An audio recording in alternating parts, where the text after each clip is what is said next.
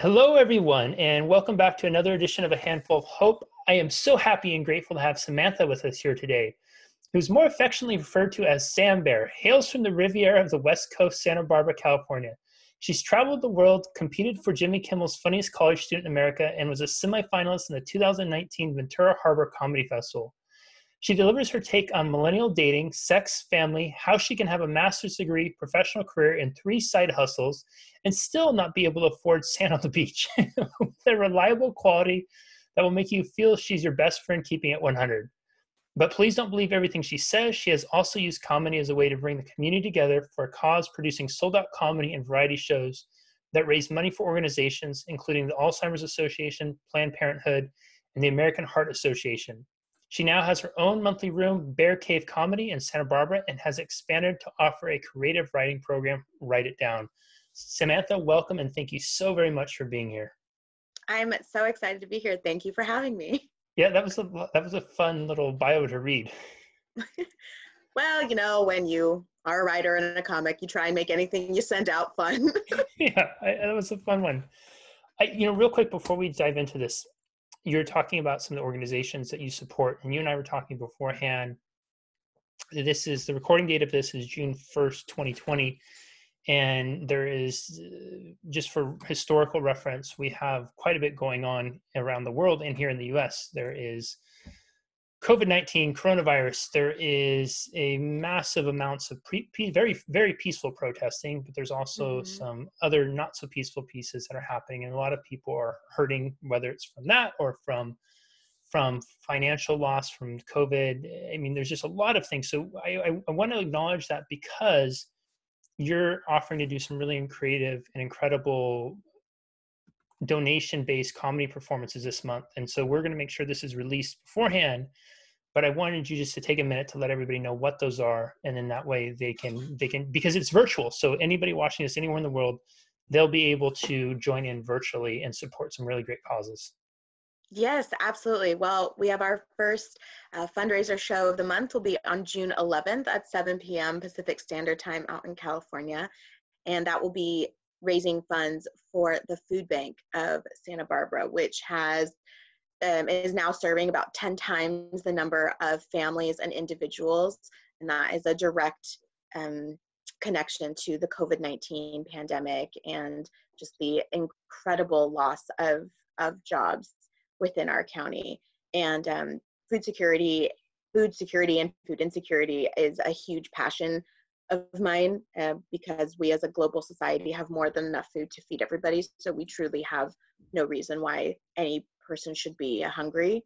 And um, I used to work with high risk youth and children, and the pressures and things that are asked of children, they're very difficult to achieve in general, but to achieve when you're hungry and you don't know when you're going to eat next and then to have those kind of pressures and and, and topics be discussed at home or be um, kind of a, a, pressure at home it just really can impact all dynamics so i'm really excited to be able to support the food bank and then on june 25th I'll be having another show because June is Pride Month, so happy Pride. And that show will be benefiting the Pacific Pride Foundation in Santa Barbara. And as I believe, they serve the largest population between um, Los Angeles and San Francisco, uh, which is pretty incredible considering how small Santa Barbara as a city is and still small how small the county is. And, you know, they've lost some of their major fundraising events because we just simply can't gather at the level that we did. And that show specifically, I'm having an all LGBTQ and ally lineup. Uh, we have surprise guests coming in. Uh, we have a TikTok star dropping in, and I'm I'm really thrilled and excited. I'm also going to be teaming up with businesses. They can be local to Santa Barbara County. They can be international. They can be just hmm. people who want to find a way to team up to match all donations made. And you can pick which one you want to join forces with, or you can join both. Love that. Thank you for sharing that. And everyone who's been to Santa Barbara for Unlock Your Greatness or other events, be sure to check them out. You always want ways to get back. This is a great way to support local community, or if you're watching locally, listening locally. Mm-hmm. Samantha, we were talking. you know just a minute ago about how fun your your bio is and you're saying the combination of a comic and a creative writer making everything fun how do you you know i think so for me i guess i can't speak for everyone else as much as i would love to sometimes but for me personally i i find that i will struggle tapping into my creativity it, it mm-hmm. seems to be a skill set that in my perspective it, it eludes me at times. How does one begin to tap into their creativity? Because i would love for something that i wrote to be that fun and then have the person turn around and say oh well it was a lot of fun to read it. Yeah it's a, definitely a good feeling when yeah. someone just reading your bio like kind of lights up. Uh, one of the things I, I like to tell people in terms of just starting is set a timer for five minutes and before you start do a power stretch you know arms up in the air and do that for like 10 15 seconds. But right when you're starting to feel like okay this is kind of weird do it for another three more seconds because that's that same feeling that you have when you're trying to be creative. Hmm. you're like oh this is feeling weird. I don't think i want to do it anymore. That's exactly when you need to keep doing it. And five minutes is a really digestible amount of time people instagram scroll for five hours. So five minutes. Focus on just getting information out on the page. And i like to tell people write as if no one's ever going to read it. That's mm-hmm. actually when you're more authentic and more vulnerable. And read it back to yourself. And then in two sentences kind of summarize what you wrote. And usually within that summary that's where you're going to tap into your more creative piece and i mean that bio you read i that's been draft after draft after draft most of it did come very natural, but I did need to play with it. I wanted it to flow and make it seem, uh, you know, flow from one piece to another and just make it seem a bit more digestible. But ultimately, the content was all within the first flow writing. So the hot tip, power pose, five minute timer, and then reflect on what you wrote and uh, draft a, a two sentence summary on that. And that's really, I think, how you that two sentence summary that's going to spark what's inside you. And you're going to be like i want to ta- i want to explore this more. Mm. and then then you're good to go. Then you're golden. That it's an interesting i think the word is juxtaposition to the notion of writing as if no one will read it. Yet so many of us write because we want people to read it because we feel like we have something to say.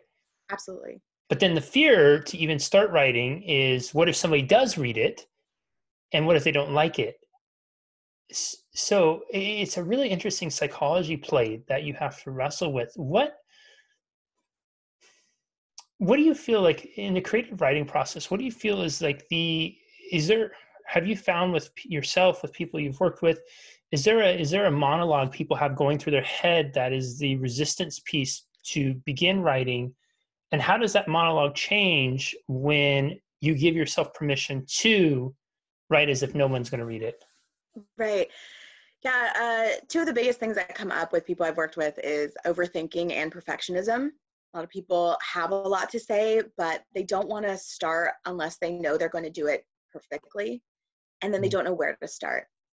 There's, if it's not going to be right, I don't want to do it at all. And how do I know if I'm right? And the idea of creativity can be very daunting. Um, I akin it to like a buffet. In in your mind, you think this is going to be such a wow, it's such a great deal, fifteen ninety nine, and I have all the choices I could ever want. You get there, and it tends to be very overwhelming, and you often tend to go for things that you're very comfortable with anyway. You didn't need the buffet because you just got pasta and garlic bread. um, even though there's, you know, sushi and crab legs and all of these things, we think that if we have this unlimited options and all these choices, ah, that's what I want, I'm going to be better. But it tends to be more frightening. Mm. And that's what creativity is. That's where I find a lot of people are how do I start? Because I can go anywhere. And the idea of being able to go anywhere, I think, can be very shocking to people. There's no structure. So what I do in my program and just in, in talking with people in general is I call them let's let's call them writing stretches call them writing mm. games language is so important even how we call what we're doing to to bring about that creativity I and I learned some of this when I was in college. I had a psychology professor. He never gave us tests. He gave us quizzes. And the quizzes were 50 points. And everyone was a lot more calm. You weren't stressing out that you had a test, you had a quiz. Mm. How hard can a quiz be? It's a quiz. Uh, and obviously, it was this, you know, it was weighted the same as a test, but you just didn't feel that same pressure. You're like, I can study for a quiz, I can pass a quiz. And he had some of the, you know, highest grades uh, for the majority of the students comparatively across the psychology department. I, I think one, he was just an excellent professor, but two, it is that framework behind the language that we use. So I like to say, okay, we're going to do a quick little writing stretch. We're going to have, you know, a little game and uh, an activity that I do a lot with people to show them that you can finish something and to give them that kind of quick sense of finishing is I do a game called the A to Z and you write an entire story uh, using the fir- the next letter in the alphabet as the first letter of the word for the next sentence. Hmm. So, like your first sentence of the story would start with a word that began with the letter A, and then you'd write a sentence, and your next sentence would start with a word that began with the letter B. So, it also is challenging because there are some letters that you're like, I Xerox, how am I going to work that? and that starts with an X. Um, so, it's fun, it's challenging, and you see that you can start and finish something. And so that's that's how i like to approach that. I like people to go through my program and feel light and have fun. And it's very i meet with all of my students and clients and it's very fun. They're like oh my gosh i was you know we were about to get to week three and i was like man i really need to figure out who i'm writing to and then you just had all of these activities about like who i'm going to write to and how to get in their mindset mm-hmm. and how mm-hmm. to look at it from that perspective like, it's intentional but it's fun. do you find do you find Samantha that when you're working with folks like that, I, I'm really curious, do you find that there's already a writer inside of them?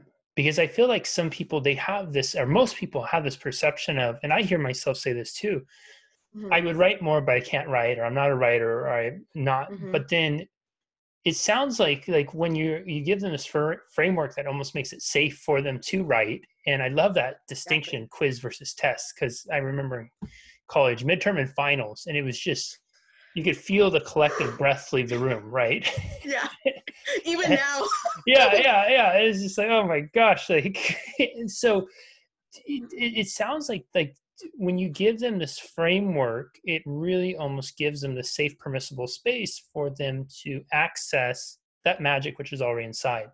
You just language it in a way and then provide the support and strategy to really maximize that. Yes, absolutely. And uh, mm. I, I, I talk about this in my course and just in my general life. I try very hard to lead uh, I uh, grateful start, grateful finish. And in all of um, the weeks learning of the program, I'm always starting off by saying, Thank you so much for taking the time to invest in yourself and invest in your writing because you're already a writer. So I make sure to really reinforce that because everyone, what you want to be, you already are. You need to just own that.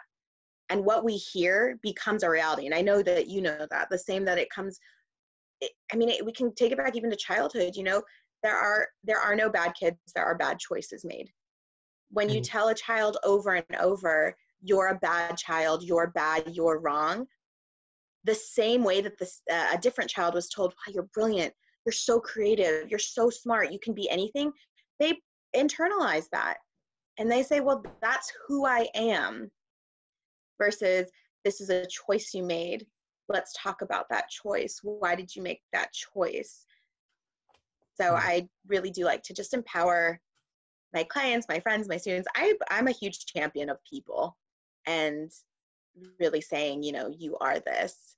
Uh, my friends who are getting PhDs took it, uh, I think, a double edged sword approach. I would say, okay, doctor, like to be, you know, you're going to be a doctor. And of course, they were very much in a stressful environment that is designed to kind of push people out. So they were like, I'm not a doctor yet. And I said, but you will be. And you'll know that I that I always knew you were. Hmm. So um, every person that I said that to has also finished their PhD program. Am I going to take credit for it? No, but I'm just saying. hmm. where where is the intersection for you, Samantha, between writing and almost kind of like vocally speaking, performing in comedy? Mm-hmm. Because I think it's such a fascinating intersection because sometimes I, I'm in the of the opinion that they're almost it's a natural synergy. Other times I think, wait, these are two completely radically different skill sets.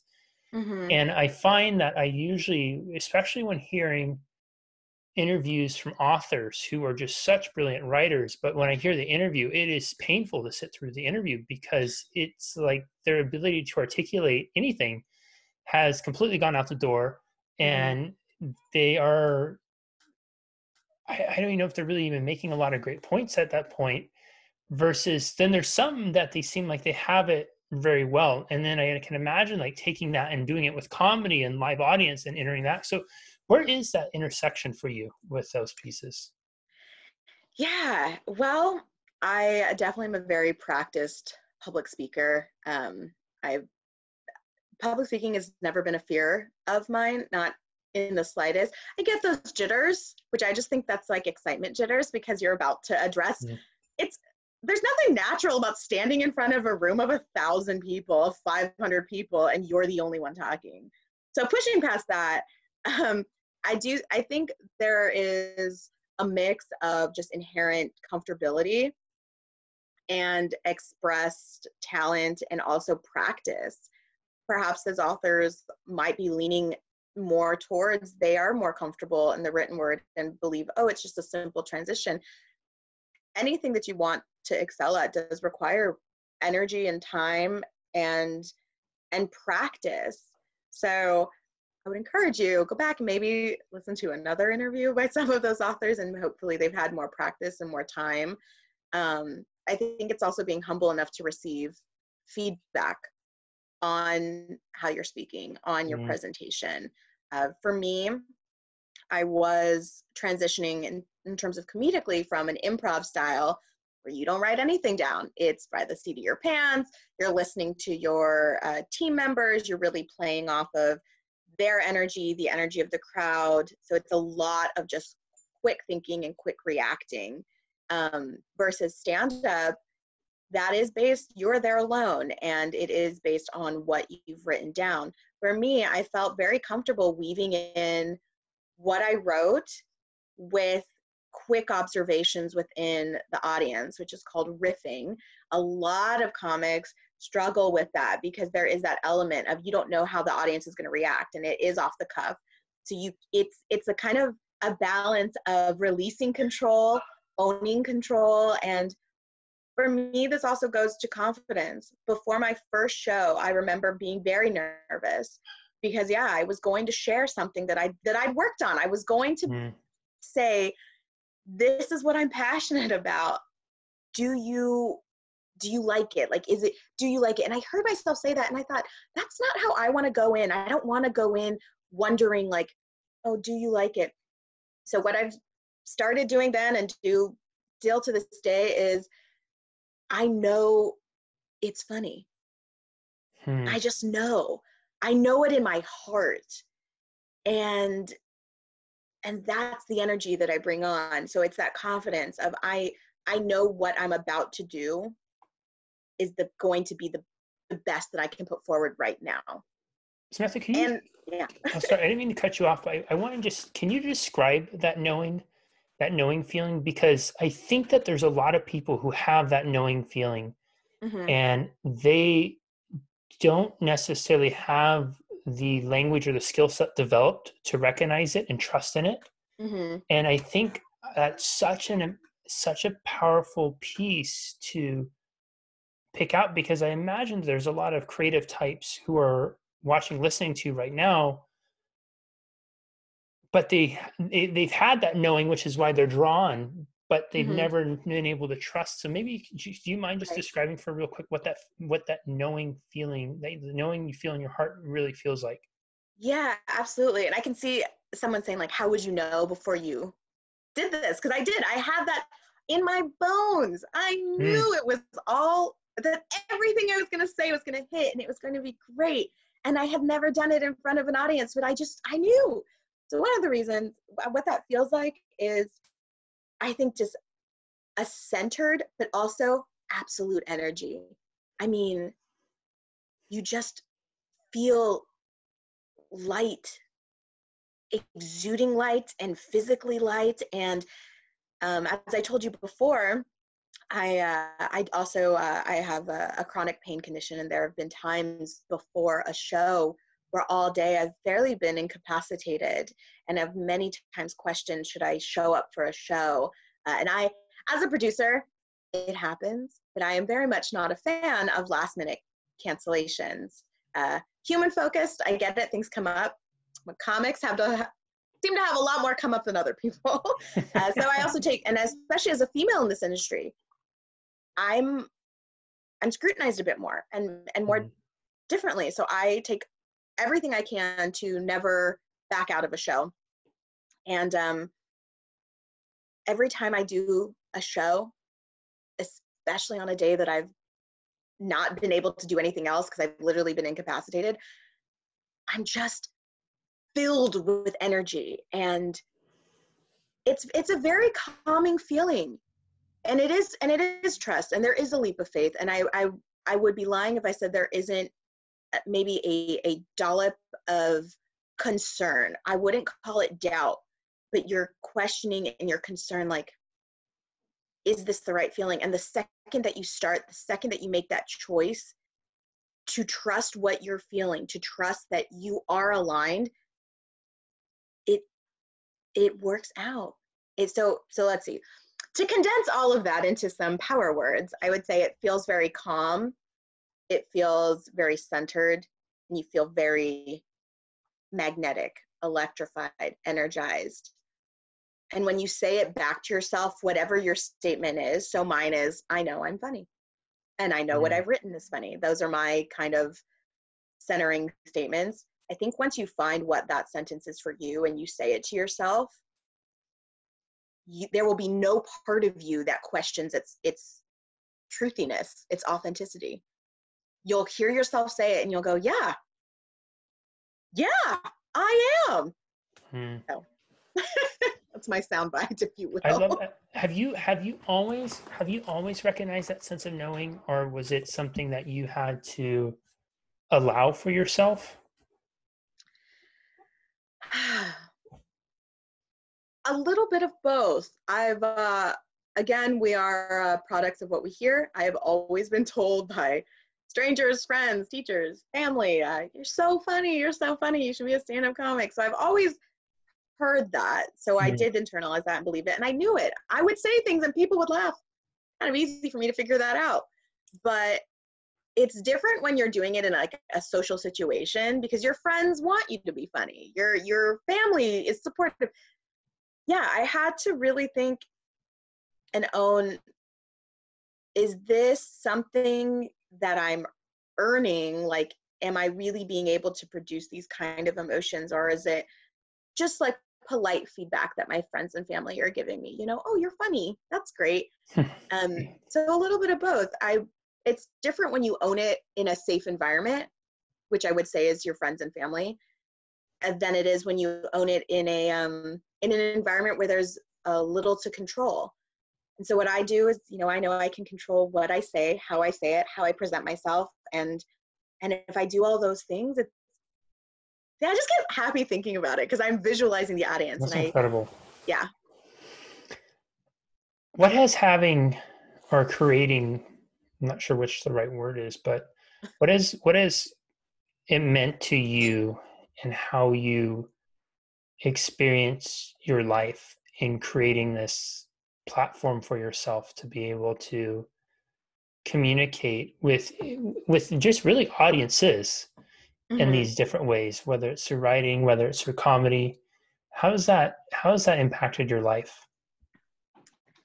I feel like I'm able to take on a lot of different perspectives and oh my god i'm sorry well i know this is live uh, fun fact pandemic i'm home and my mother just flung open the door and was showering me with kisses so that that's how it's impacted me i'm just gonna own like my situation it's awesome So awesome. Uh, sorry. That's one of my favorite answers I've ever heard. Say, that's my mom. That's my family I'm in. How do I know like these things? I feel so truly blessed that even as a, you know, as a grown up, my parents continued to be some of my biggest champions. So I will mm. ask you to repeat that because that completely threw me off, but it was the cutest thing. And you're recording, and you just needed to know what was going on. Um, you were talking about how platform. I'm back. Okay. So producing my own shows, that really came about because I was noticing being in the in this industry that many of the shows I was I was on or you know reaching out to bookers to be on had a lot of the same lineup, which happened to be primarily male, maybe only one female on the roster, and primarily Caucasian male. Hmm. And that to me was very limiting in terms of a perspective. And when I go to a comedy show, I want a variety of perspectives. I want to, and not in any way to denigrate male, white, Caucasian male comics, Caucasian female comics. I've had many on my shows. I am big fans of many, but to have an entire lineup, while they all may be talented in their own right, their perspective is going to be very similar. And that kind of gets old after a while. And I kept thinking, it's, I want to see a show, I want to be a part of a show that I want to be on. And one of the things I take great pride in, and one of the reasons that I went, I'm going to take the leap and produce my own regular show because I produced off shows for years, but I wanted to make the transition to produce regularly occurring shows and it's it's very much field of dreams if you build it they will come. I mean my lineups are always varied. I for my first couple shows i had a surprise drag queen come and perform in the middle of the show. A surprise for the audience. The comics all knew everyone. I was going to say how big of a surprise was this? Everyone? Well for the audience. And that, one yeah. of the reasons I, I do that is because i do want to bring in different performers. I want to put people in in an environment where they are exposed to things, maybe things that they're not used to or uncomfortable with, but in a safe space, in a fun way, in a way that says, like, we all experienced this together. Um, yeah, so my lineups, you know, we have different age, gender, experience, uh, race, and all of my shows are sold out. And with people at the door, I mean, I'm having to turn away 20, 30 people, and it's, wow yeah and i'll get emails from people they're saying it's just me. Like just the one? Please let me sit down. I, I want to be here. This is what i want. And that feeling and, and then i'm able to pay everybody is my other aspect of it. And i and i know this from a producing standpoint. I produced shows uh, beyond comedy for years. It is important to me. I if you're part of my show and it's a professional production, which I pride myself that my shows are, it's because I value you as a professional. Mm. And I want to compensate you as such. And that range may be different. And I think that's important to know. Like you can decide for yourself do you believe you're being compensated enough? I believe I price out fairly to compensate based on a lineup, a feature, and a headliner range. And so far, I haven't heard any anything to the contrary. And um, yeah, so Western for me, it's been able to me to bring people together, to spotlight other businesses, to bring to give a stage to the lineups that I want to see more of. Samantha, we only have time for just a few more seconds, and I'm really curious since your mom came in showering you with kisses. She's so cute who is your biggest fan? and I want to reverse that also. Who is who are you the biggest fan of and why? Uh, my biggest fan.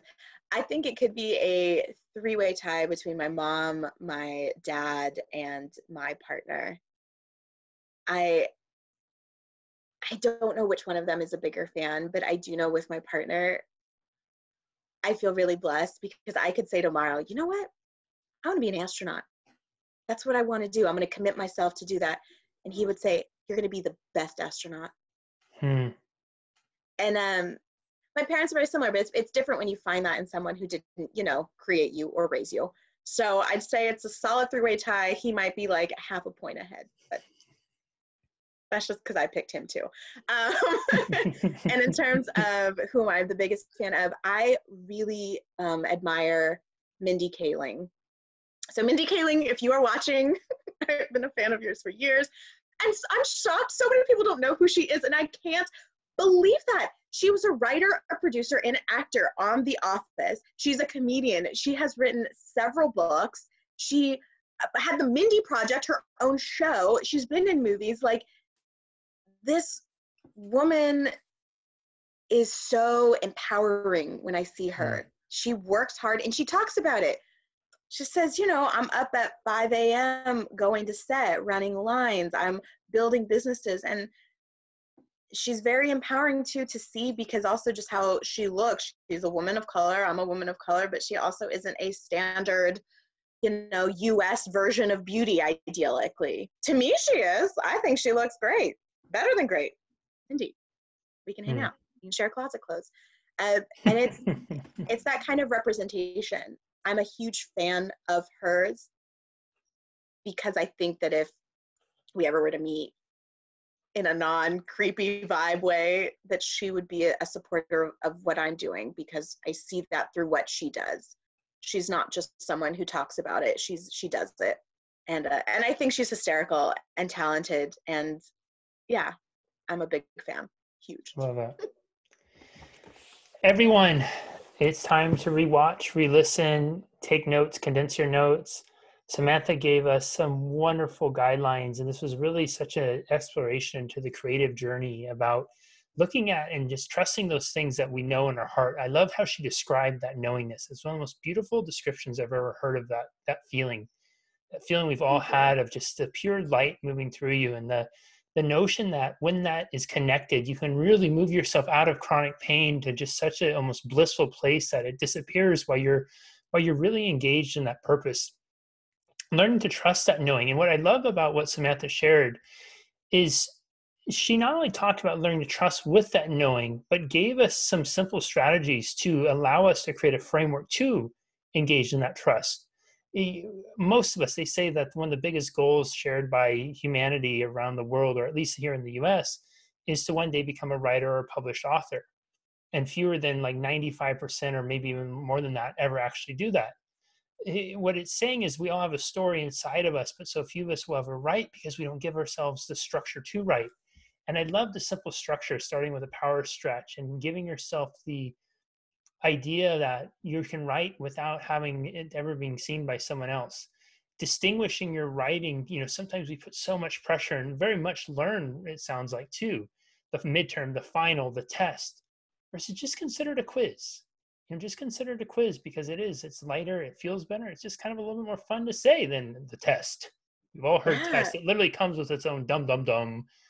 Exactly. right it has its own soundtrack. And then the to come full circle to mom popping in and showering with kisses, it's a reminder of how important it is for all of us to find our own biggest fans in life.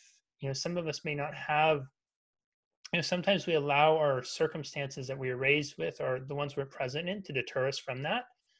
But there are people out there right now, maybe you know them, maybe you have yet to meet them, but there are people right now who are waiting in line, jumping up and down, pushing, shoving to get to the front, waiting to cheer for you, waiting to be your biggest fan, waiting to believe in you, waiting to support you. I think one's pointing at herself right now. And so don't allow the doubt or the naysayers to tell you anyways. Trust in that feeling and allow it to guide you to the platform that you're meant to stand on. You're meant to you're meant to rise from and you're meant to share your creativity with the world. Samantha, this has been such an absolute blessing. Thank you so very much for being here with us today. We I deeply appreciate you and this has been such a gift. Thank you.